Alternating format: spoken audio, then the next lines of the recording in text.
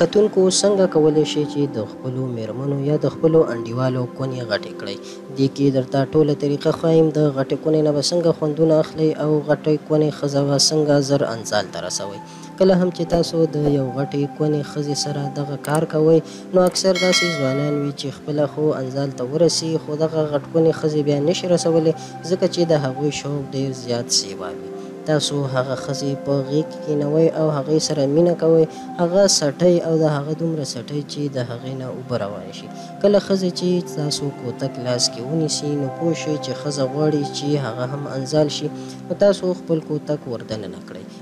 خو چې تاسو کوتک دننه کوئ نو هغې نه دا خیال مخکې ساتئ چې تاسو په کوتک باندې وسلین لګولي وي ځکه چې هغې سره ټایمنګ سیوا کیږي او که وسلین نه وي نو بازار کې کریم ملاویږي دغه کریم چې تاسو ولګوئ نو ستاسو به ټایمنګ لس پنځلس منټه شي کله چې تاسو هغې سره دغه کار شروع کړئ او دغه کریم تاسو لګولي وي نو دغه ښځه به دومره چغې وخي چې تاسو نه به دغه فلمونه هیر شي دومره خوند به وکړي ځکه چې یو د کریمو مزه وي او بله ښځه چې کله هم انزال ته رسي نو هغه دومره په تړتکو شي چې د هغې هر اندام خوله خوله شي او غواړي چې نور هم ورسره دغه کار وشي نو کوشش به کوئ چې په یو طرف دغه کار ونشي. هغه ښځې سره په هر طرف دغه کار وکئ که هغه په سوپه کې وي او که هغه په ځمکه وي او که په بيډ وي نو دغه کار ورسره ښه په ګرم جوشۍ سره وکئ نو دغه ښځې به بيا ستاسو نه ځاريږي او ستاسو نه به قربانيږي ځکه چې اکثر مسلې ددغه کارونه راځي چې خاوندان خپلې ښځې نشي يخولی او ښځې بيا بل طرف ته مخ کړي